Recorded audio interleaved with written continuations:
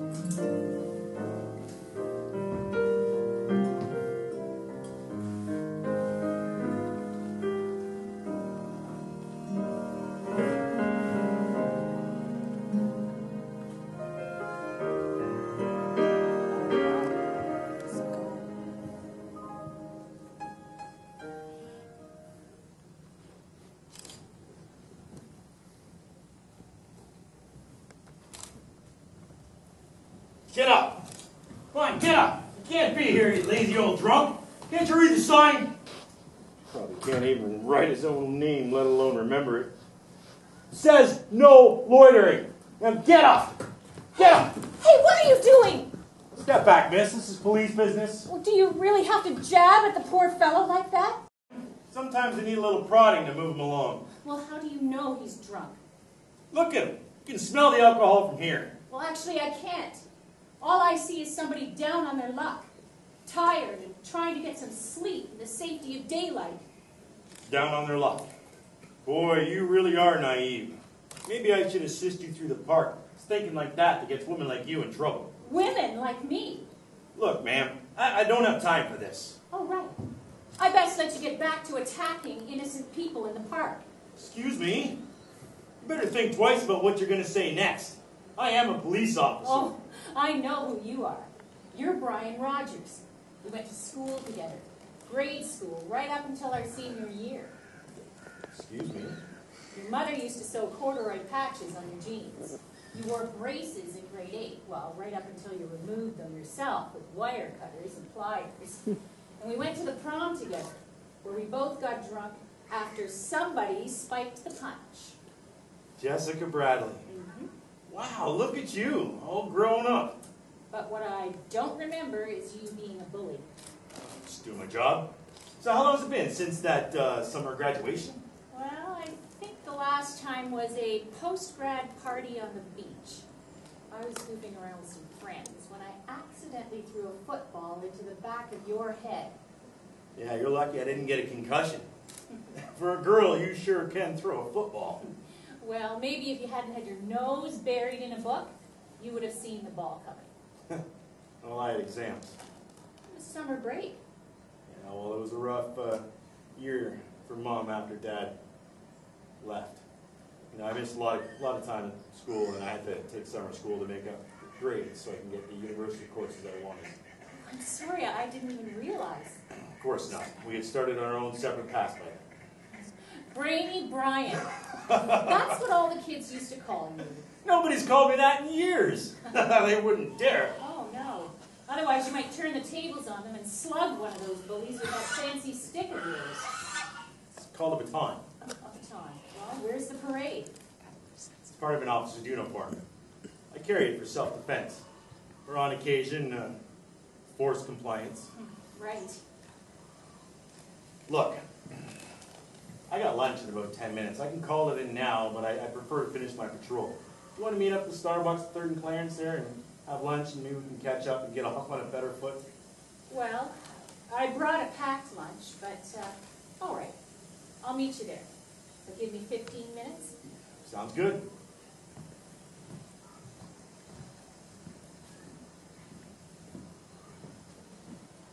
Excuse me.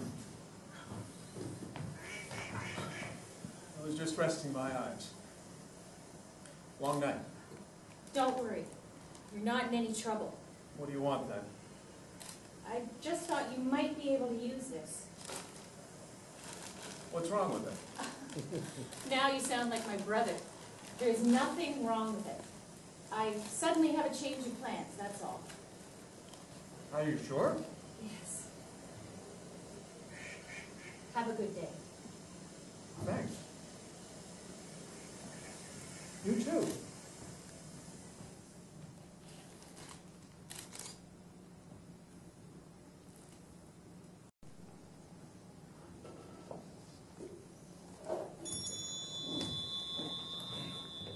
Oh, hey.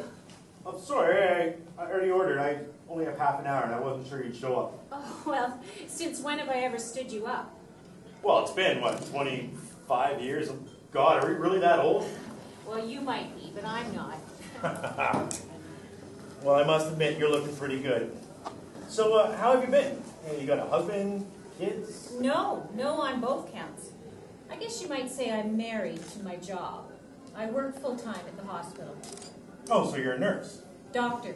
Oh, I should have guessed. Uh, remember that time that you tried to put a cast on your cat? Boy, did my mom ever flip out when she saw that kitchen covered in flour and Jester in a full body cast. I can't believe you remembered that. I'll never forget those days. Well, being an only child, I think I spent more time at your place than my own. Well, re- you didn't recognize me in the park. Ugh, Well, I would have remembered uh, or recognized you eventually. I'd like to think so. It's just, yeah, I've been working all this overtime lately. I, half the time I don't know which side is right side up anymore. It's just, I got three kids entering university in the next five years, and I'm busting my butt trying to figure out how I'm going to pay for it all. Oh, three children. Wow. Yeah, I got uh, Connor is 16, Chris is 14, and Chad is 13. Three boys. That's a handful. Chris is uh, Christine, my daughter, and she's the handful. Oh. My turn to make a mistake. And your wife? Ah, Cheryl. Uh, we met just after I graduated university. She used to work down at the school board, but she uh, quit after we had Chris. Hasn't regretted it for a minute. Although uh, lately, uh, I can tell she's getting a bit anxious knowing that the kids are about to fly the nest. Oh, well, mom was like that when we started leaving. But soon she rediscovered her passion for the theater. She had more time for rehearsals and shows, and we became the ones looking for her, missing her. So, how's your dad? He passed away eight years ago. Well, I'm sorry to hear that. What about your brothers, uh, Brad and Joe? Well, Brad lives in Europe. He moved there after his company expanded. And I think he has a girlfriend, but he won't admit to anything. And Joe, life hasn't been easy. So, is Joe still living in town? Yes. Um, so is your mom still around? Mom, uh, she uh, remarried just after I got married. Her and her husband uh, moved down to Florida. She comes back to see the kids every chance she can get. Her husband's a bit of an odd guy. He uh, collects windmills. But he treats her really well, so she's, she's happy. Well, I'm glad to hear that. You know, I sh- see my share of women in the ER that have been messed up by their partners. And some days I think about your mom and I just wonder how she managed to hide it from everyone for so long. I think about you as a child and how difficult it must have been with your dad. I've survived. All right, it's not something that one brags about. All right, so you don't go posting on your Twitter. And drunk husband came home beating the shit out of me again because, because I got forgot to buy more beer. Hashtag hope no one sees the bruises. It's work. I need to get back to one of my patients. Well, you didn't even get a chance to eat. Ah, the life of a surgeon. Well, look, it was it was really good seeing you again. And you too. Um, listen, I, I wanted to apologize about earlier in the apartment there. Oh, you mean you and that fancy stick of yours? No, no, about not recognizing you. Oh, well, don't worry about that.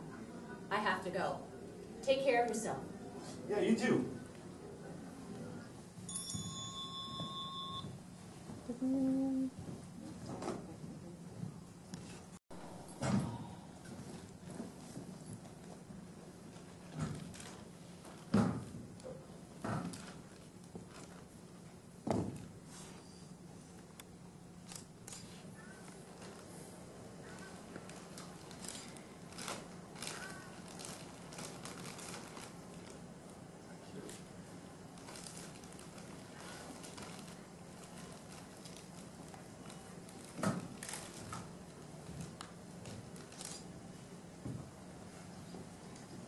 Is this drunk bothering you? Hi, no, no, he isn't.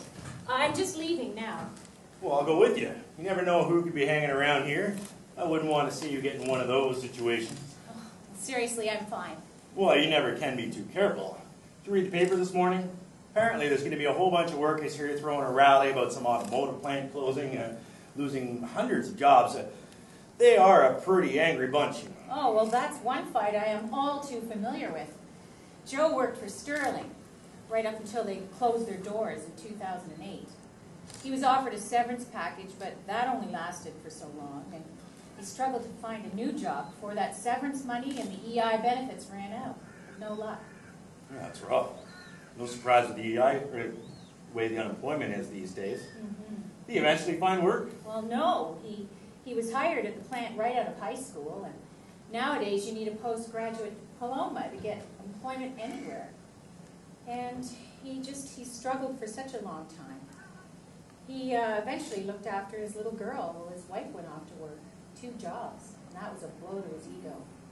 Having his wife work so hard to put food on the table made him feel pretty useless. So Joe was married. Oh, he was. Eventually, things had an effect on their marriage, and she moved out west to live with her parents. And he, she took Stella with him, with her. I'm assuming Stella is their daughter and not the family dog. Ah, yeah.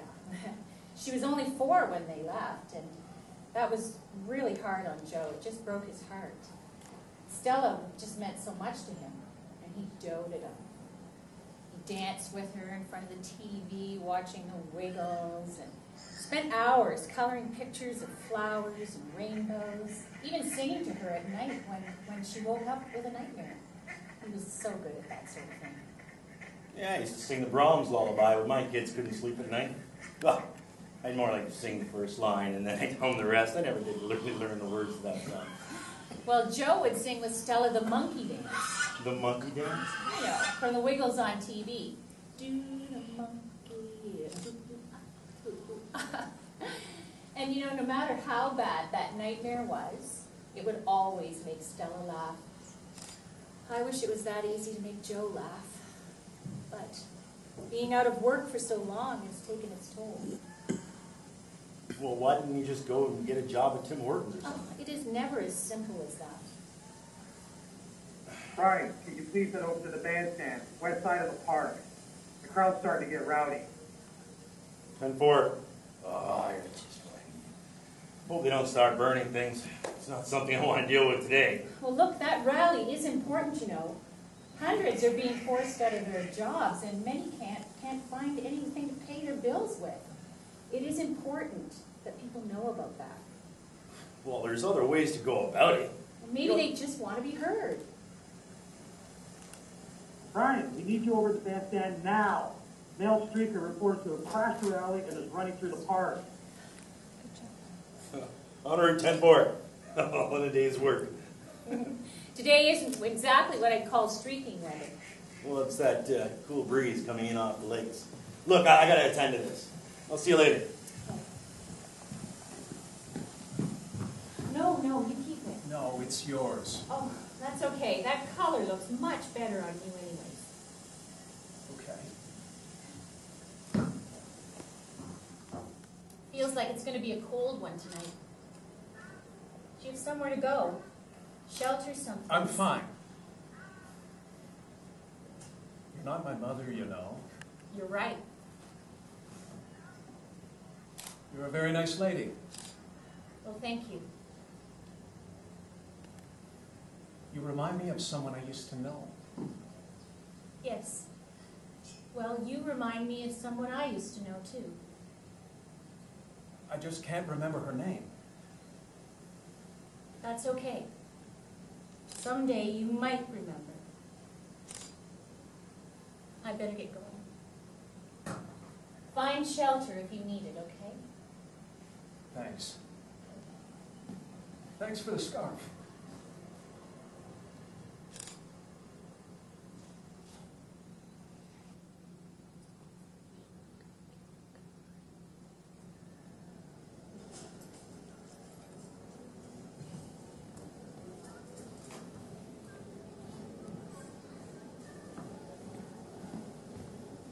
Oh, hey! If I didn't know any better, I'd say you were following me. What? Oh, oh, hi. Sorry to startle you. Is the seat taken? No, no, that's okay. I, I didn't recognize you at first. Normal clothes and all. Ah, it's your turn not to recognize me. Oh, very funny. you didn't scream and start calling for the police. Oh, yes, that probably would have been a bit awkward. Not as awkward as my neighbor who uh, had someone call the fire department because he saw smoke coming from his kitchen. well, that is a good thing, isn't it? Well, it wasn't. It wasn't. My neighbor Paul? He's a fireman. It was the guys from his own hall that answered the call. Oh, yes, that would be awkward. Once we had a young intern new in our department come into the ER in the middle of the night, thinking he had a case of appendicitis. And Gas. Just a simple case of gas pain. The ER doctor went to check that intern's abdomen for any signs, and just as he was pressing down on the right side, the guy let one rip. it echoed through the entire ER.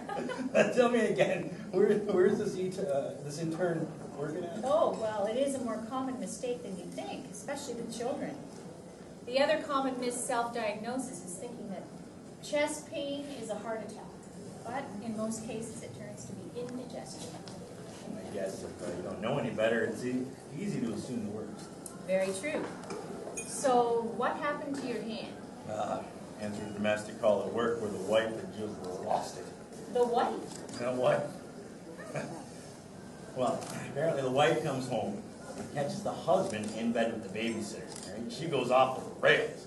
We get there, there's broken dishes all over the kitchen floor, clothes out strewn up and down the stairwell. She had smashed a, a laptop, a big, big, uh, big screen TV, uh, big PS3, throwing them all out the second story window. She just went crazy. Anyways, we get there, and the husband and the babysitter are holed up in the bathroom. Right here it is, minus 18 degrees, and the babysitter is wearing just a towel. And the husband has got himself wrapped up in a shower curtain. He's trying to get out the window. So just as we're able to help him down, the wife storms through the bathroom door and comes over and slams the window right down on my hand. Ouch. Let me see it. Uh, Did you go to the emerge? it's okay. It's not the first time I've had something broken. Besides, I, I just came in to grab a coffee. I gotta work the desk for a while, uh, at least until this thing heals. I hate it, but uh, it's better than being off work without any pay. You know, when you're one paycheck away from bankruptcy, you take what you can get. I'm finished here. I'll, I'll walk with you.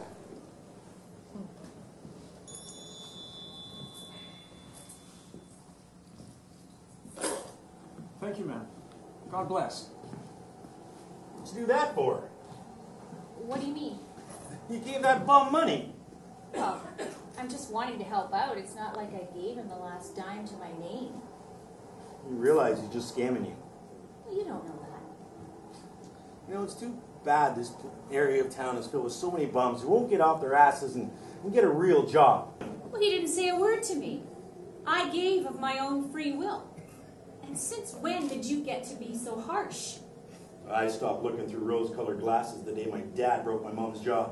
You know, I remember as a child, I was sitting down for dinner, telling my dad that we saw this guy who was playing guitar, right, and mom throwing some change in his hat. Later on that evening, my dad gave her crap for wasting his hard-earned money. He threw her out for the night, wearing only a nightgown. He wouldn't even let me help her, give her a blanket or anything. I ended up sitting by my bedroom window all night with my mom on the other side of the glass, just so she wouldn't feel alone. You know, I was eight years old. I'm so sorry. But it wasn't that man's fault. Yeah, well, that same bum, we saw him a week later, and he had his sign folded neatly in his backpack. He had a beer in one hand and a fancy Walkman in the other, so excuse me for being a little harsh. Well, you don't know his situation. It could be a mental health issue.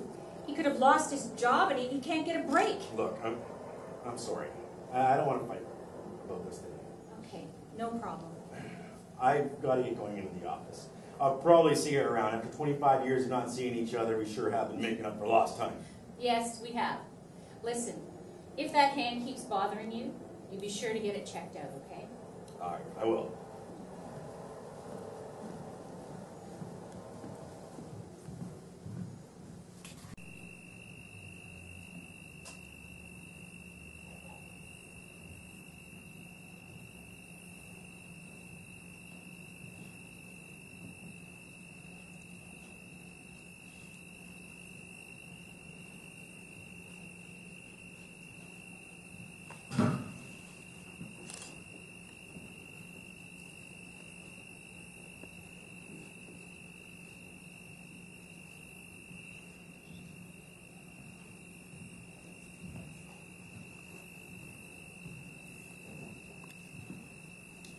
Hello, Jessica. Hello. It's been a while. Yes, uh, I've been really busy with my work, and, and I haven't been able to get out here. Well, I just want to let you know there's been some problems down here in the park, and uh, just be careful, especially when it gets dark. I'm just waiting for my brother. I'll be okay. Joe? Oh, good. Yeah, because we've had some complaints of harassment down here, and uh, I wouldn't want to see you get in one of those situations. Thanks. Is uh, everything okay? What? Yes, okay. Well, that was convincing. Sorry, I- I'm fine. I'm just worried about Joe, that's all. I, I haven't seen him for a while. You never stopped being the big sister, did you? Well, some days it was a fine line between sister and mother. Nothing against mom, it's just that uh, Joe always needed that extra support. Yeah. I'm surprised that somebody who was so feminine never had problems with bullies at school. Well, unlike yourself, I mean, Joe isn't feminine, he's just more sensitive than most. Life impacts him harder sometimes. But, you know, regardless of how much he needed my help, Joe was always there for me. Whenever I was scared or upset, he'd always just draw a little funny picture or sing some crazy song off key. I always did admire the way Joe could draw. You know, I may have graduated high school with honors, but I couldn't draw a stick figure to save my life. I'm surprised he went to go work at the automotive plant. Well, I'm sure you've heard of the term starving artist. Oh, oh, I can relate. You know, I, I love having my wife home with the kids, but sometimes I wish she'd just go back to work, at least part-time, just to ease some of that financial pressure. Yeah, it isn't easy these days. I just managed to pay off my student loans for medical school three months ago. I've been planning to take a trip to Mexico or someplace to celebrate, but I can't afford to take the time off quite yet. Cheryl and I went to Mexico uh, back when Chad was two. We took advantage of the last job being able to fly for free. About 15 minutes into this flight, Chad throws up all over Cheryl and the passenger next to him. we had to change of clothes for the baby, but our luggage missed a connection, connecting flight, and poor Cheryl had to wear a winter coat over her bra until we could find a souvenir shop. So I had to laugh because here it is, 89 degrees out, and Cheryl's wearing this big parka.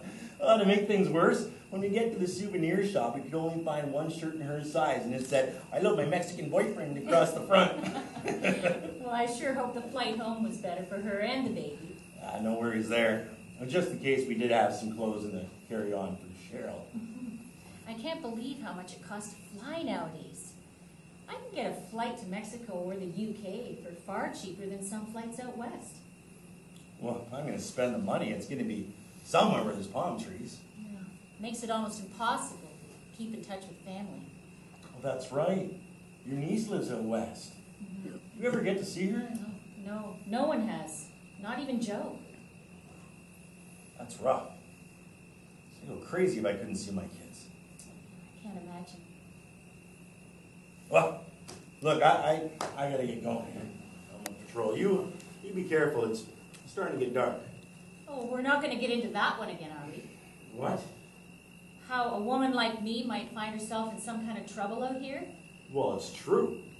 After this uh, place gets dark, this place fills with all sorts, drunks and druggies just looking to, for a handout or the next quick fix. This place gets full of losers who would think nothing about taking advantages of, you, of your naivety. Oh, well, not everyone out here is trying to take advantage of me, you know. You can't trust any of these people. And I should know. My father would say anything to my mother just to get to that next drink. Well, not everybody is like your father. They might be somebody's son or brother or best friend, but somewhere along the way they got lost. And it's not up to us to judge who gets the sympathy and who doesn't. Come on, Jess. I'm surprised you think this way. Surely you've seen your fair share of vagrants through the ER.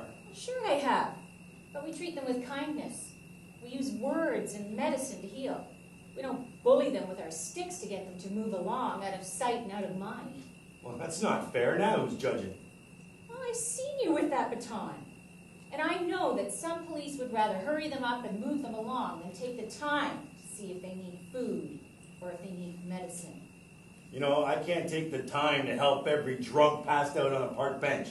It's my job to protect the citizens of this city, the taxpayers that help pay my salary. Well, yes, and without that, where would you be? You've said it yourself. You're one paycheck away from bankruptcy. Well, I certainly wouldn't park my ass on a bench and get drunk. Now, the people you see parked on the bench are not all drunks, as you put it.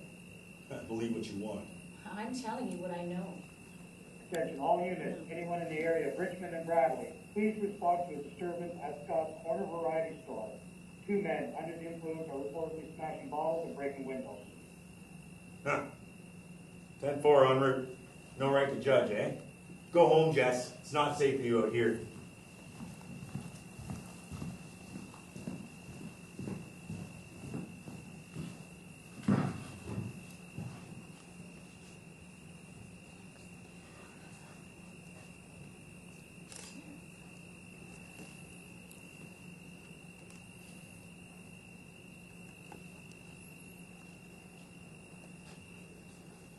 No! Oh, let me go! Oh, oh, That hurt. I'm so sorry. I, I didn't know it was you. That hurt. Sorry. But you scared me. And I reacted. Pretty good kick. Well, for a girl. You should see me with a football.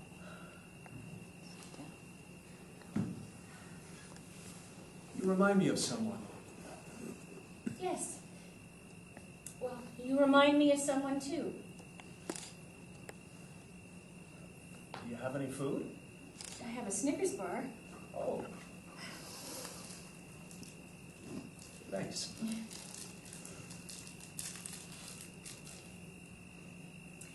Good to see you. I see you too. I haven't seen you for a while. Have you been okay? I'm okay. It's starting to get dark. Soon those raccoons will be out. Those things always give me nightmares with little teeth and little claws.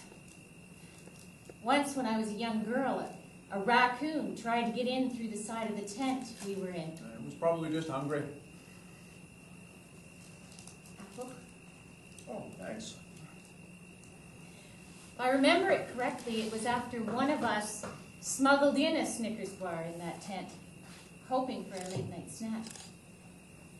But we had quite a surprise when something in the dark started eating through the side of the tent to get us. And nightmares for months after that. I still do.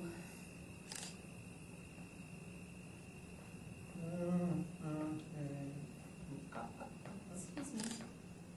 Did you say something? We're gonna do the monkey. I don't believe it. Ooh, ooh, ah, ah, ooh, ooh, ah. You can't remember my name yet. You remember the words to that crazy song. Do the monkey, monkey, monkey, that's alright. Jump to the front and back, ooh, ooh, ah, ah, ooh. We're gonna jump to the front and back, ooh, ooh, ah, ah. Come on and jump to the front and back. That's alright, that's alright.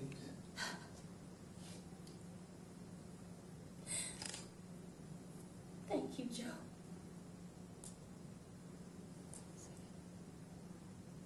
That's alright. The